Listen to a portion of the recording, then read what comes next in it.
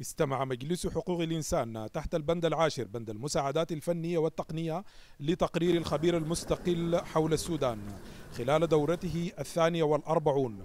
وأشاد الخبير الأممي بالإعلان الدستوري ووثيقة السلام بين الأطراف السودانية التي تم التوقيع عليها في أغسطس الماضي.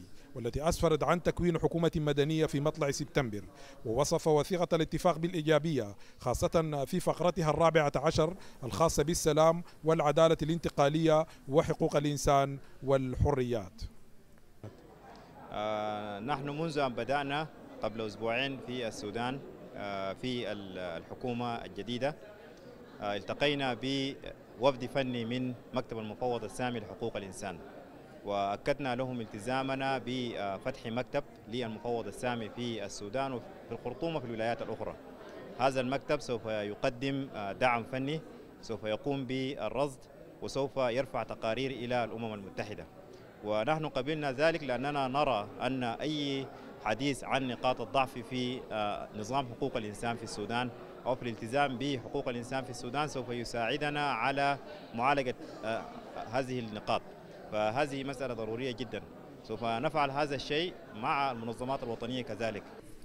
وخاطب المجلس السيد وزير العدل الدكتور نصر الدين عبد الباري مؤكدا أن المرحلة الانتقالية ستشهد تطورات عديدة في مجال حقوق الإنسان والحريات وأكد حرص السودان على تعزيز أوضاع حقوق الإنسان بما يحقق شعارات الثورة وعلى رأسها بسط الحريات وإقامة العدل وتحقيق السلام الشامل في كافة أنحاء البلاد.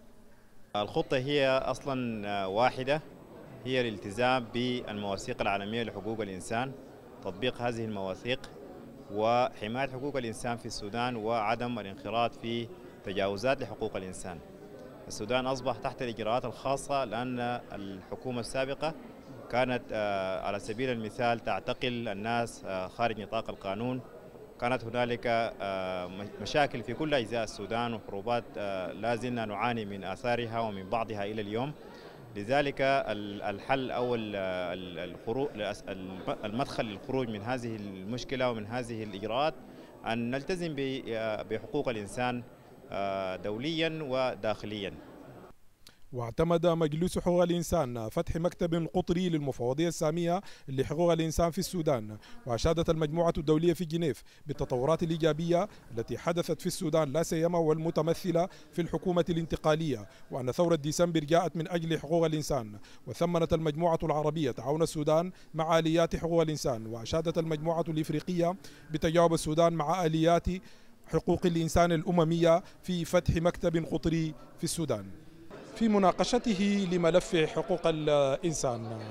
أبدت كثير من الدول تفاؤلها بالمرحلة القادمة في شأن ترقية وتحسين حقوق الإنسان في السودان. طه يوسف حسن قناة النيل الأزرق مجلس حقوق الإنسان جنيف.